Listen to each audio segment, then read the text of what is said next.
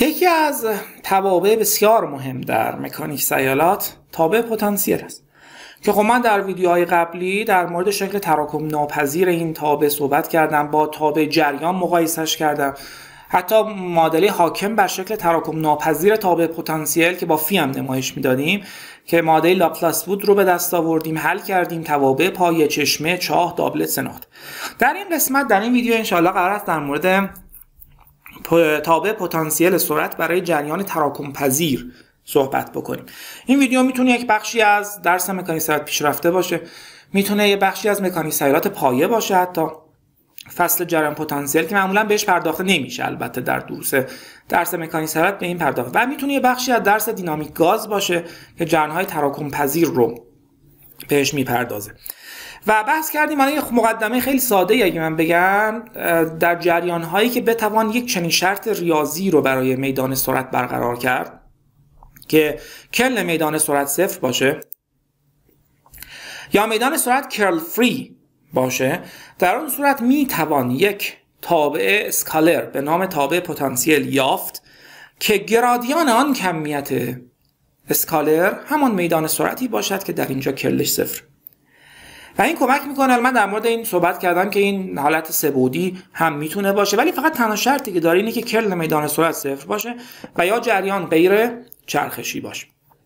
ولی یه خارج از این می‌تونه تراکم پذیر باشه یا تراکم ناپذیر باشه. در اینجا اتفاقا داریم در مورد شکل تراکم پذیری صحبت می‌تونه سه بعدی باشه یا دو بعدی باشه.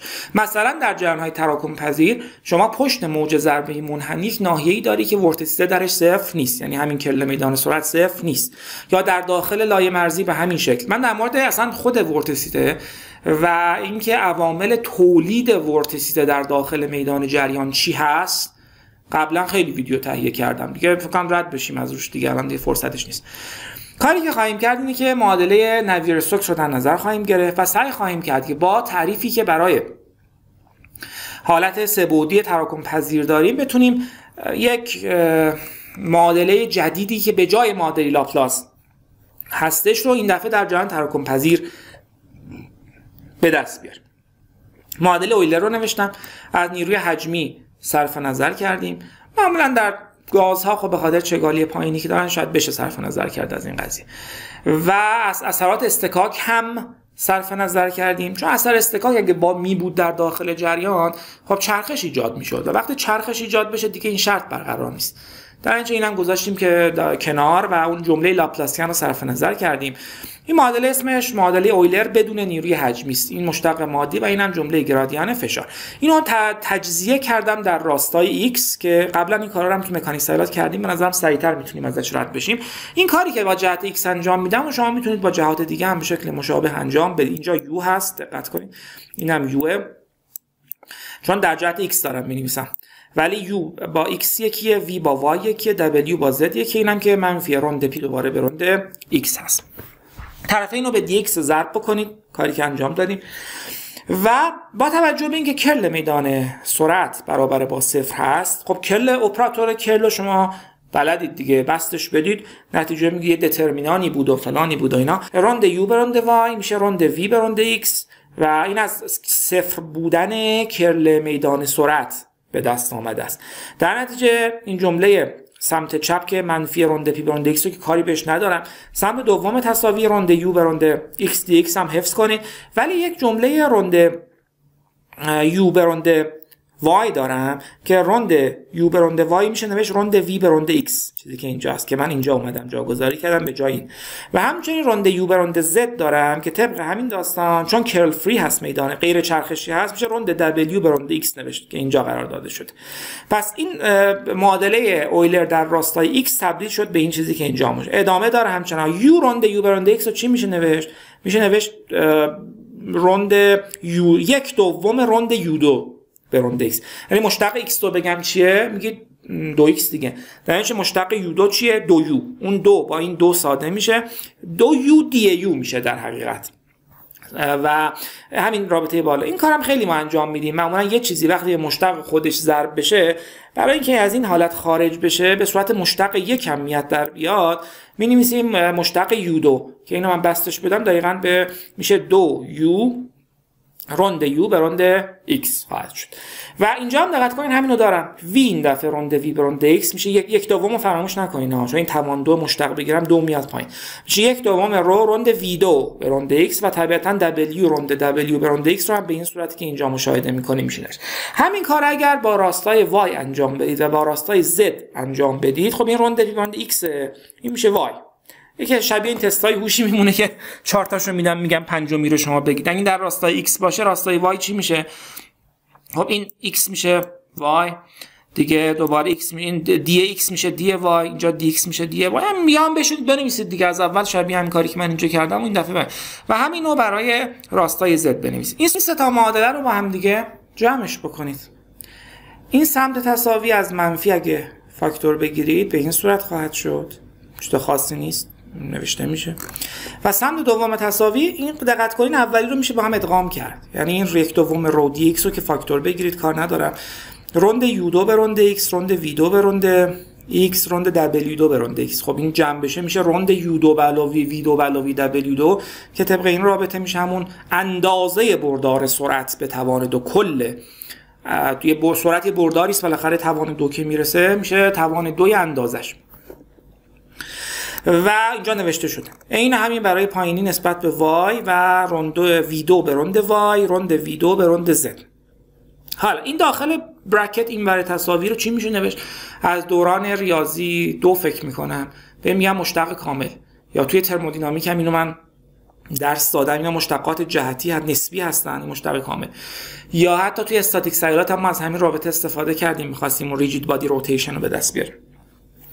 که میشه نوشت دی پی اون ور تصاویر اگه نگاه کنید هم شبیه همینه که ویدویی که من دارم این روند به روند x ویدو این روند به روند y ویدو خب اینو چی میشه نوشت؟ نمیشه میشه نوشت دی ویدو دیگه. این همین رابطه که اینجا داشتیم. اگه من دی ویدو رو بخوام بس بدم؟ میشه روند ویدو به روند x دی x روند ویدو به روند y دی y و رو هم که کاری بهش ندارم. پس این چیزی که داریم میشه یک دو یک دوم من اینجا جا انداختم. یک دوم رو دی وی به توان دو. که حالا اگه دی وی به توان دو رو بخواید مثل قبل بنویسید میشه دو وی دی وی که این دو با اون یک دومی که من اینجا ننوشتم ساده میشه میشه رو وی دی وی پس سمت راست شد رو وی دی وی سمت چپ شد منفی دی پی که اگه به این صورت بنویسید به این شکل خواهد شد. این شکلی است از معادله اویلر و فرضیه وی دقت کنید اندازه بردار سرعت ها نه مؤلفه سرعت نداره. حالا بریم سراغ همین پتانسیل سرعت. ببینیم چطوری می‌توانیم پتانسیل سرعت رو برای شکل تراکم پذیر به دست بیاریم. گفتیم که اگر میدان سرعت curl free باشه می‌توان سرعت رو به صورت گرادیان کمیت اسکالر مثل فی نوشت که من اگه بستش بدم یو میشه روند فی به روند ایکس وی میشه روند فی به روند وای دبلیو میشه روند فی به روند زد.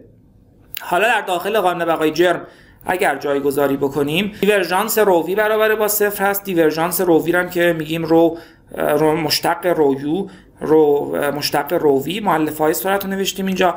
یو رو می‌ذاریم فی ایکس وی رو می‌ذاریم فی وای. طبق تعریفی که در اینجا این زیرنویس یعنی مشتق نسبت به ایکس مشتق نسبت به وای و دبلیو رو هم می‌ذارم مشتق نسبت به زد. و این مشتق اول در دوم می‌تونم بکنم. یعنی رو مشتق دوم در اول میشه رو روند دوی فی به روند x2 که فی x x نمایش دادیم. همچنین دوباره رو در فی وای وای رو در فی زد زد اینجا هست. و این دفعه مشتقات اول در دوم میشه فی x در روند رو به روند x که اینجاست فی وای در روند رو به روند وای و سومی دنبال این هستم که در این رابطه چگالی رو یک جوری از بازی حذف کنم. یعنی تو این معادله من یه معادله حاکم برای فی می‌خوام.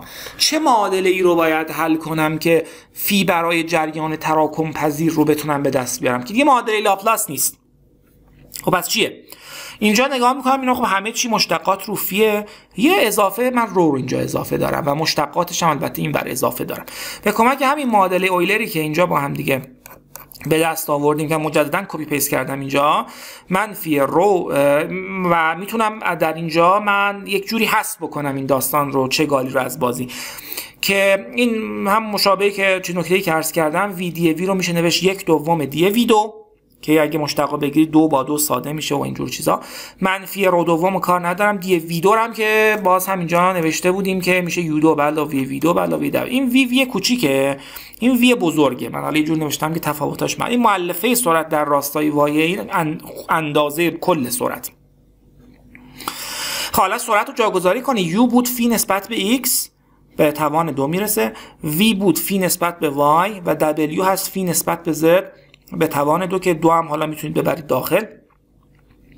و در اینجا من می‌خواهم که یک جوری چگالی رو حذف کنم. و این هم تعریف سرعت صوت هست که رد پای عدد ماخ قرار هست در داخل بازی ما ایجاد بشه. روند پی به روند رو در حالت isentropic که چون اگه اثرات استکاک رو صرف نظر کنیم می توانیم اینو بنویسیم dp تقسیم بر d رو از اینجا d رو رو می‌تونم بگم. dp تقسیم بر سرعت صوت به توان دو. حالا dp رو از اینجا من کلی نوشتم رسیدم به این چیزی که می‌بینید. اینو اگر که dp هست تقسیم کنم به a دو همون تغییرات چگالی من به دست خواهد. منفی رو دقت کنید همش copy paste شده. این دو هم که دارید دونه a دو اینجا تو مخرج اضافه شده. حالا از شما چی خواستن؟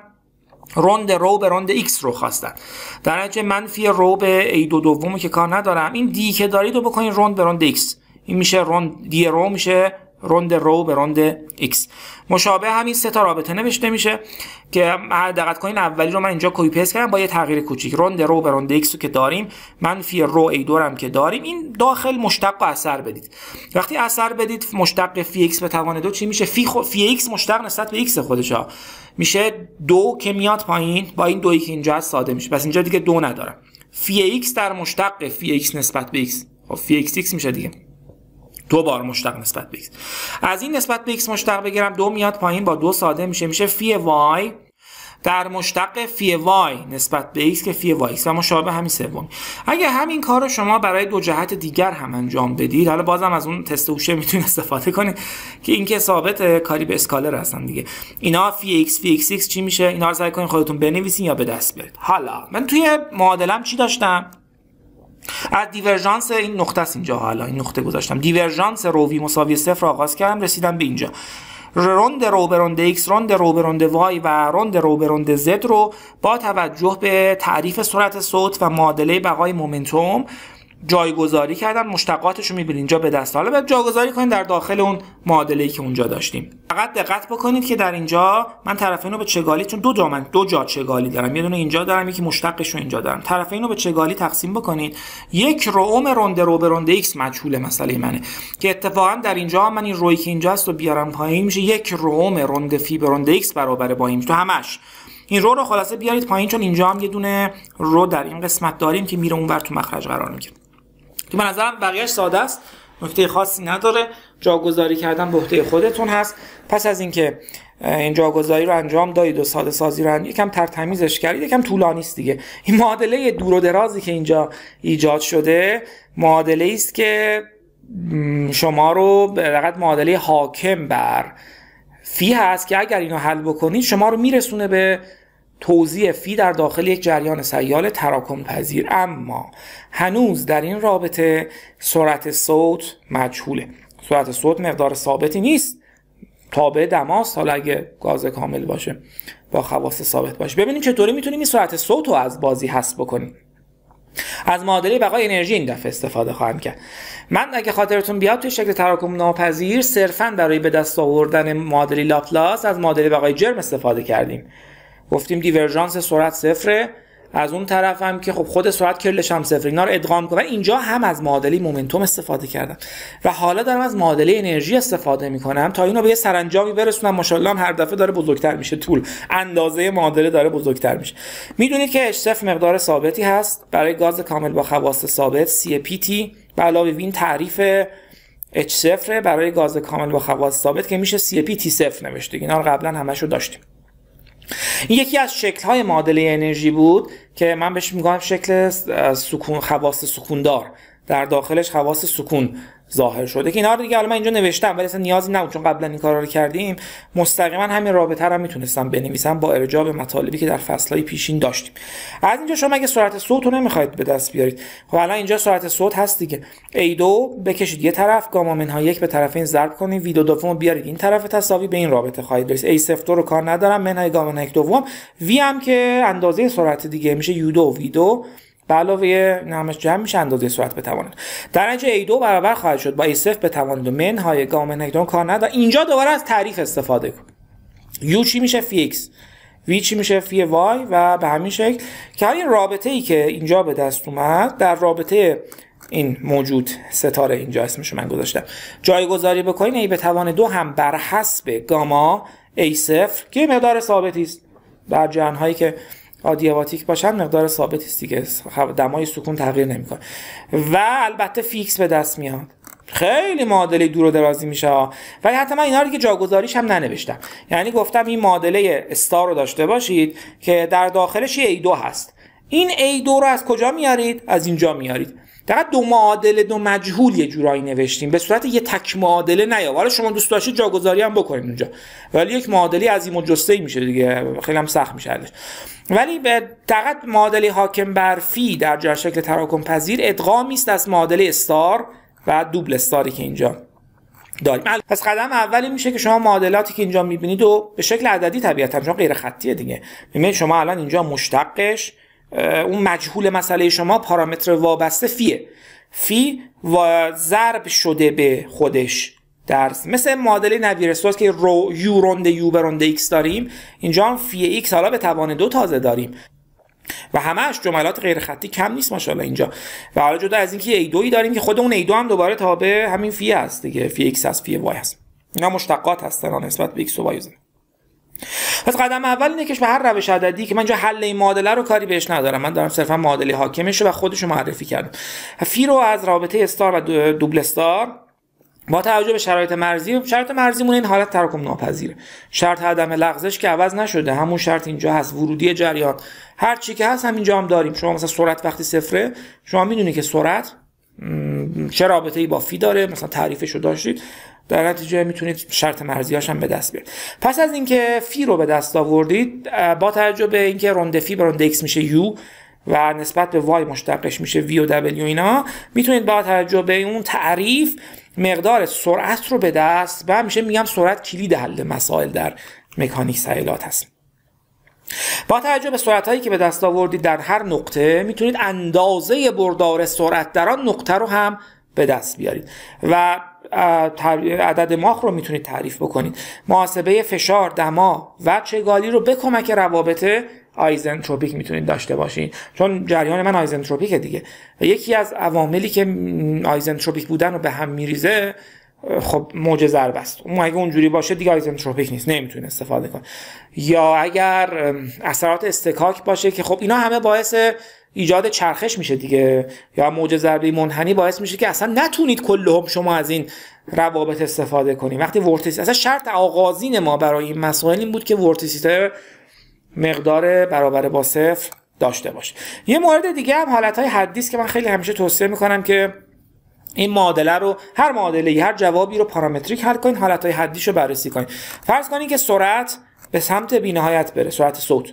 بعد سرعت صوت به سمت بینهایت بره یک جورای عدد ماخ به سمت صفر میره دیگه. در نتیجه شما به سمت جریان تراکم ناپذیر گرایش پیدا خواهید کرد. در اینجا دقت کنید اگه سرعت صوت به سمت بینهایت بره این جمله صفر میشه میشه یک. هیچ ضریبش یک میشه. اینجا هم باز به همین شکل که این ضریب صفر میشه و این یک میشه در حقیقت یک منهای صفر اینم یک منهای صفر. تو هر سه تای اینا هم a به توان دو داریم. طبیعتا اینها هم همه صفر خواهند شد. فقط فی ایکس ایکس علاوه فی وای وای علاوه فی زد زد مساوی صفر که معادله آشنایی است که معادله لاپلاس است. حالا اینکه معادله رو چجوری میشه حل کرد؟ به تکنیک های مختلفی شاید بشه حل کرد. هم جریان supersonic هم subsonic من فرضی برای مافوق صوت بودن یا مادون صوت بودن نکردم. خوب ده من همیشه میگم این derivation روابط اهمیتش در اونجاست که به شما کمک می‌کنه که بفهمید چه فرضیاتی پشت کجا باید از با چه فرضیات جایی که نمی‌توانید از این روابط استفاده نکنید. ما فرضی که کردیم غیر لزج بودن بود isentropic بود نیروی حجمی رو صرف نظر کردیم. ولی نگفتیم supersonic باشه یا subsonic باشه. حالا چه جوری میشه اینو حلش کرد؟ خب منطقی ترینش روش حل عددی است دیگه. و حل دقیق اگه می‌خواید انجام بدید. و یا روش مشخصه ها حالا بهش میشه پرداخت. یا بیاید یک سری transformation هایی پیدا بکنید که این معادله رو به حالت خطی تبدیل بکنه. خیلی پیچیده میشه. به نظرم انقدر پیچیدگیش زیاده که همون برین عددی حل کنید خیلی ساده تر به نظرم. یا اینکه بیاید خطی سازی بکنید. من توی ویدیوهایی که در ریاضی مهندسی تهیه کردم اتفاقا اشاره کردم که یه وقتی یه معادله خطیه که هیچ خیلی از تکنیک های عددی رو و خیلی تکنیک تحلیل رو می‌تونیم برای حلش استفاده کنیم. یه وقتی از غیر خطیه اگه غیر خطی باشه خب شما باید یه ترانسفورمیشنی پیدا کنید که خطیش بکنید اول و بعد حل تحلیلی کنید که این همیشه این ممکن نیست. یا اینکه برید خطی سازی بکنید. یه مقدار فرضیاتی بهش اعمال بکنید که معادله خطی بشود. یه وقتی یه معادله خطی هست بهش میگن linear equation. یه وقتی میگن linearized equation. یعنی معادله که خطی نبوده خطی سازی شده.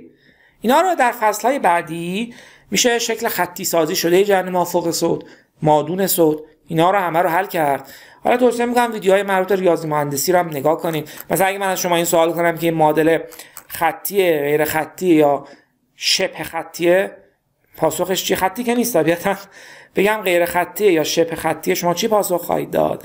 ما ویدیوها رو نگاه بکنید که پاسخ سوال تو کامنت ها به اشتراک بذارید یا بهانه باشه برای اینکه اون رو نگاه بکنید